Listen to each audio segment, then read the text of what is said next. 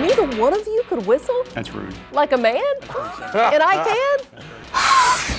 Spraying me, man. Not everybody can do. Whoa. First of all, that's very emasculating when you do that in front of me and her. Oh my gosh! I can't, I can't do it on a consistent basis.